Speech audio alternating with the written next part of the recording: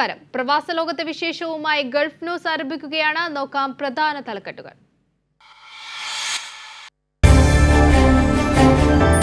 രൂപയുമായുള്ള Gulf കറൻസികളുടെ മൂല്യത്തിൽ വർധന. ഒരു ദർഹത്തിന് ഇരുപത്തിയൊന്ന് രൂപ അൻപത് പൈസ. ഒമാനി റിയാലിന് ഇരുന്നൂറ്റി അഞ്ച് രൂപ.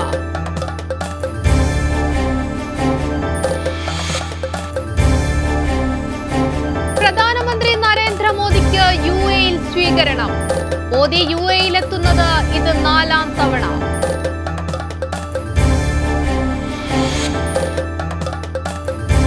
കുവൈറ്റിലേക്ക് കുടുംബ സന്ദർശക ടൂറിസ്റ്റ് വിസകൾ അനുവദിക്കുന്നത് താൽക്കാലികമായി നിർത്തിവെച്ചു.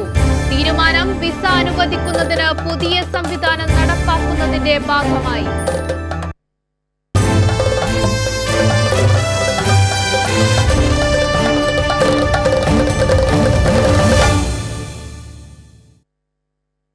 വിശദമായ വാർത്തകളിലേക്ക് ഓഹരി വിപണി കനത്ത നഷ്ടത്തിലായതോടെ ഡോളറിനെതിരെ രൂപയുടെ മൂല്യം കുത്തനെ ഇടിഞ്ഞു ഇതോടെ രൂപയുമായുള്ള ഗൾഫ് കറൻസികളുടെ മൂല്യത്തിൽ വർധനവും രേഖപ്പെടുത്തി.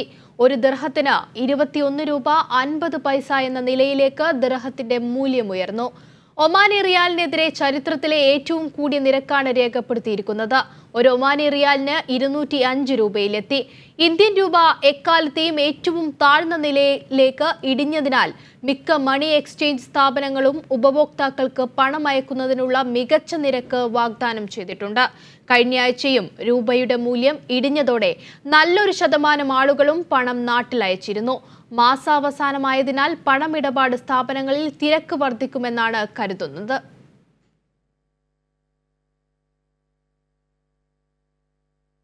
യു എയിലെത്തിയ പ്രധാനമന്ത്രി മോദിക്ക് ഊഷ്മളമായ സ്വീകരണം.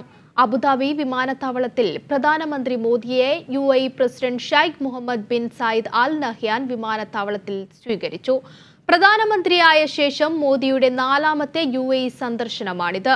യു എ പ്രസിഡന്റായിരുന്ന Sheikh Khalifa bin Zayed Al നഹ്യാന്റെ വേർപാടിൽ നേരിട്ട് അനുശോചനം അറിയിച്ചു. പുതിയ president Sheikh Mohammed bin Zayed Al നഹ്യാനെ പ്രധാനമന്ത്രി അഭിനന്ദിക്കുകയും ചെയ്തു. ജർമ്മനിയിൽ നടന്ന ജി സെവൻ ഉച്ചകോടിയിൽ പങ്കെടുത്ത ശേഷമാണ് അദ്ദേഹം യു എയിലേക്ക് എത്തിയത് രണ്ടായിരത്തി പതിനഞ്ച് പതിനെട്ട് പത്തൊൻപത് വർഷങ്ങളിലാണ് ഇതിനു മുൻപ് മോദി യു എയിലെത്തിയത്. പ്രധാനമന്ത്രിയുടെ യു എയിലേക്കുള്ള പുതിയ സന്ദർശനത്തിന് വലിയ പ്രാധാന്യവുമുണ്ട്. പ്രവാചകനെതിരായ പരാമർശത്തിന്റെ പേരിൽ ഇന്ത്യയുടെ ഭരണ നേതൃത്വത്തിലുള്ള പാർട്ടി ലോകരാജ്യങ്ങളിൽ നിന്ന് പ്രത്യേകിച്ച് ഗൾഫിൽ നിന്ന് വലിയ എതിർപ്പുകളാണ് നേരിട്ടത്. യു എ അടക്കമുള്ള ഗൾഫ് രാജ്യങ്ങളിൽ ഇന്ത്യയെ പ്രതിഷേധം അറിയിച്ചിരുന്നു. കുവൈറ്റിൽ വിസ അനുവദിക്കുന്നതിന് താമസകാര്യ വിഭാഗം പുതിയ സംവിധാനം നടപ്പാക്കുന്നതിന്റെ ഭാഗമായി കുടുംബ സന്ദർശക ടൂറിസ്റ്റ് വിസകൾ അനുവദിക്കുന്നത് താൽക്കാലികമായി നിർത്തിവെക്കാൻ അധികൃതർ തീരുമാനിച്ചു. ഒന്നാം ഉപപ്രധാനമന്ത്രിയും ആഭ്യന്തരമന്ത്രിയുമായ ഷെയ്ഖ് അഹമ്മദ് അൽ നവാസിന്റെ നിർദ്ദേശത്തെ തുടർന്നാണ് നടപടിയെന്ന് മന്ത്രാലയ വൃത്തങ്ങളെ ഉദ്ധരിച്ച് പ്രാദേശിക ദിനപത്രം റിപ്പോർട്ട് ചെയ്തു.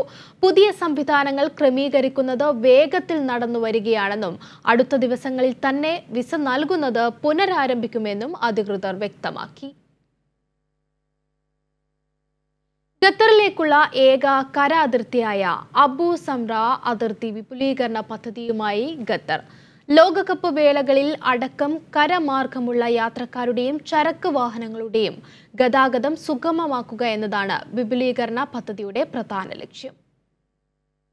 ലോകകപ്പ് വേളയിലെ കരമാർഗമുള്ള ഗതാഗതം സുഗമമാക്കുക എന്ന പ്രഥമ ലക്ഷ്യവുമായിട്ടാണ് അബുസംബ്ര അതിർത്തി കവാടം വികസിപ്പിക്കുന്നത്. ഖത്തറിന്റെ ഒരേയൊരു കരയതിർത്തിയായ അബുസംബ്ര അയൽരാജ്യമായ സൗദി അറേബ്യയുമായാണ് അതിർത്തി പങ്കിടുന്നതും വിശാലമായ ഗൾഫ് മേഖലയെ ഖത്തറിനോടൊപ്പം ബന്ധിപ്പിക്കുന്നതും. കരമാർഗം അബുസംബ്ര അതിർത്തിയിലെത്തുന്ന യാത്രക്കാരുടെയും ചരക്ക് വാഹനങ്ങളുടെ പ്ലാറ്റ്ഫോമുകളുടെ ശേഷി വർദ്ധിപ്പിക്കുന്നതുൾപ്പെടെയുള്ള വിപുലീകരണ പ്രവർത്തന പദ്ധതികൾ ത്വരിതഗതിയിൽ നടന്നുവരികയാണ്. അതിർത്തിക്കിപ്പുറമുള്ള യാത്രക്കാരുടെ സുഗമമായ സഞ്ചാരം ഇതിലൂടെ സാധ്യമാകുമെന്നും land customs administration assistant director Yusuf Ahmed Al Ahmadi അറിയിച്ചു. ഒരു ലക്ഷത്തി തൊണ്ണൂറായിരം ചതുരശ്ര മീറ്റർ വിസ്തീർണമുള്ള നിരവധി കെട്ടിടങ്ങളും ഇടനാഴികളും പൂർത്തിയാകുന്നതോടെ അഞ്ഞൂറോളം ചരക്കു വാഹനങ്ങൾക്കുള്ള പരിശോധനാ കേന്ദ്രങ്ങളടക്കം ഈ പദ്ധതി പൂർത്തീകരിക്കുന്നതിലൂടെ സാധ്യമാകും. News bureau Qatar. Saudi Navodaya സാംസ്കാരിക വേദി കേന്ദ്ര കുടുംബവേദിയുടെ ആഭിമുഖ്യത്തിൽ സംഘടിപ്പിച്ച ബാഡ്മിന്റൺ ചാമ്പ്യൻഷിപ്പ് സമാപിച്ചു. ചാമ്പ്യൻഷിപ്പിൽ ജുവൈൽ അറായ്ഫി കുടുംബവേദി ഓവറോൾ കിരീടം കരസ്ഥമാക്കി. ദമാം ബ്യൂറോയുടെ റിപ്പോർട്ട് കാണാം.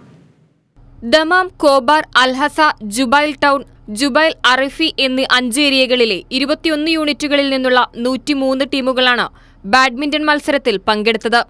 ദമാം ഇവന്റ്ലോഡ് ബാഡ്മിന്റൺ ഇൻഡോർ സ്റ്റേഡിയത്തിൽ വെച്ചാണ് ഫൈനൽ മത്സരങ്ങൾ നടന്നത്. പുരുഷ വിഭാഗം ഡബിൾസ് വനിതാ വിഭാഗം doubles mixed doubles junior doubles എന്നീ വിഭാഗത്തിൽ ഒന്നാം സ്ഥാനം നേടി ജുബൈൽ അറൈഫി രണ്ടായിരത്തി ഇരുപത്തിരണ്ടിലെ ബാഡ്മിന്റൺ ചാമ്പ്യൻഷിപ്പ് ഓവറോൾ കരസ്ഥമാക്കി. മത്സരത്തിൽ കോബാർ ഏരിയ കുടുംബവേദി റണ്ണേഴ്സപ്പായി നവോദയ സാംസ്കാരിക വേദി മുഖ്യരക്ഷാധികാരി ബഷീർ വാരോട് ഉദ്ഘാടനം നിർവഹിച്ചു. കലാ സാംസ്കാരിക സാമൂഹിക ക്ഷേമ പ്രവർത്തനങ്ങൾക്കൊപ്പം തന്നെ പ്രാധാന്യത്തോടുകൂടിയാണ് നവോദയ കായിക മത്സരങ്ങളും സംഘടിപ്പിക്കുന്നതെന്ന് ബഷീർ വാരോട് പറഞ്ഞു.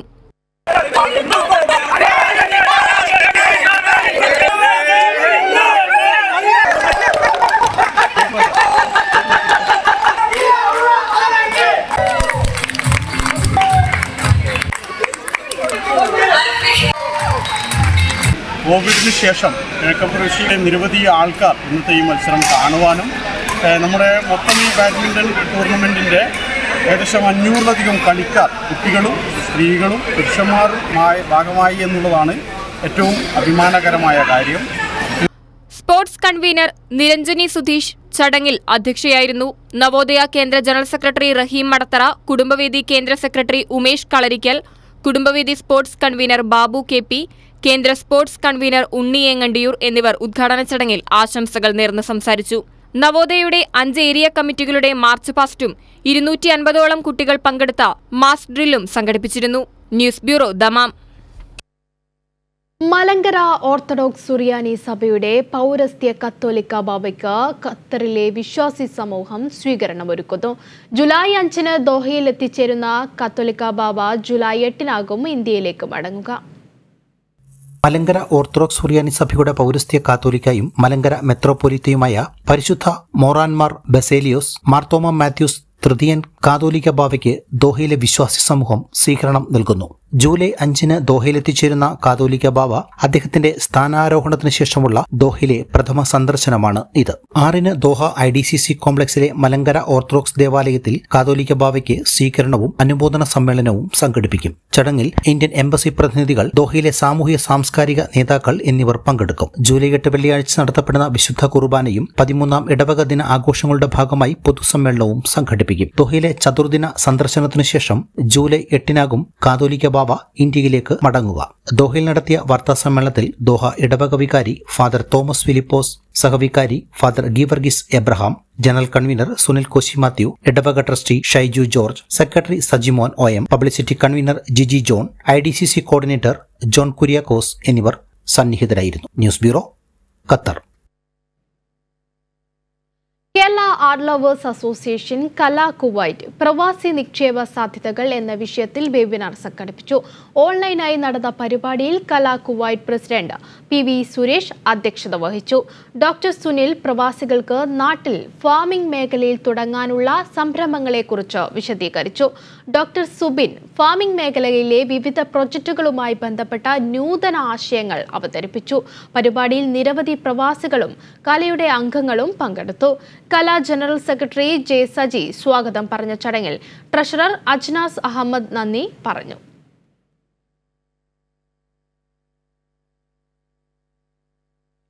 കണ്ണൂർ എരഞ്ഞോളി സ്വദേശി കുവൈറ്റിൽ നിര്യാതനായി.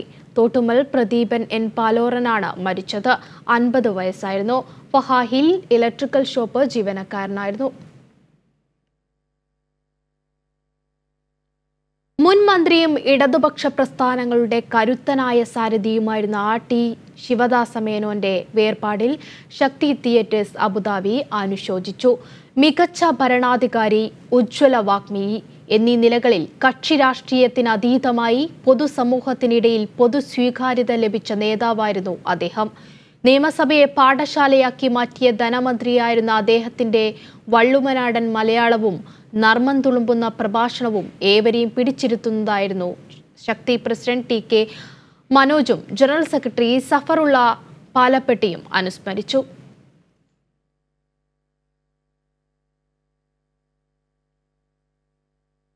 ധനകാര്യമന്ത്രിയും സി പി എം സംസ്ഥാന സെക്രട്ടേറിയറ്റ് അംഗവുമായിരുന്ന ടി ശിവദാസ മേനോന്റെ നിര്യാണത്തിൽ കേളി കലാ സാംസ്കാരിക വേദി അനുശോചനം രേഖപ്പെടുത്തി. ശിവദാസ മേനോന്റെ വിയോഗം സി പി എമ്മിനും ഇടതുപക്ഷ പ്രസ്ഥാനത്തിനും കേരളത്തിലെ രാഷ്ട്രീയ സാമൂഹ്യ മേഖലയ്ക്കും തീരാ നഷ്ടമായിരിക്കുമെന്ന് കേളി അനുശോചനക്കുറിപ്പിൽ വ്യക്തമാക്കി. മുൻ ധനകാര്യ വകുപ്പ് മന്ത്രിയും മുതിർന്ന സി പി എം നേതാവുമായ ടി ശിവദാസ മേനോന്റെ നിര്യാണത്തിൽ ഗത്ര സംസ്കൃതി അനുശോചനം രേഖപ്പെടുത്തി. ഗത്ര സംസ്കൃതി രൂപീകരണ യോഗത്തിൽ പങ്കെടുക്കുകയും സംഘടനയ്ക്ക് വേണ്ട മാർഗനിർദ്ദേശങ്ങൾ നൽകുകയും ചെയ്തത് ശിവദാസ മേനോനായിരുന്നു. ആയിരത്തി തൊള്ളായിരത്തി തൊണ്ണൂറ്റിയൊൻപതിൽ ഇ കെ നായനാർ മന്ത്രിസഭയിൽ ധനകാര്യ വകുപ്പ് മന്ത്രിയായിരിക്കെയാണ് അദ്ദേഹം ഖത്തർ സന്ദർശിക്കുകയും സംസ്കൃതി രൂപീകരണ യോഗത്തിൽ സംഘടനയെ പ്രഖ്യാപിക്കുകയും ചെയ്തത്. സംസ്കൃതിക്ക് എക്കാലവും ഓർക്കാവുന്ന തരത്തിൽ ഊർജം പകരുന്ന സാന്നിധ്യമായിരുന്നു ശിവദാസ മേനോന്റെ നിര്യാണത്തിൽ സംസ്കൃതി അതിയായ ദുഃഖം രേഖപ്പെടുത്തുന്നതായും സംസ്കൃതി അനുശോചനക്കുറിപ്പിൽ രേഖപ്പെടുത്തി. വൻ ഓഫറുകളുമായി ലുലു ലെക്സ് കണക്ട് ഫെസ്റ്റിവലിൽ സൗദി അറേബ്യയിൽ തുടക്കമായി. ഫെസ്റ്റിവലിന്റെ ഉദ്ഘാടനം റിയാദിലെ അത്യാഫ് മാളിൽ പ്രമുഖ ടെക് ഇൻഫ്ലുവൻസറായ സാദ് അലി ദാവി നിർവഹിച്ചു.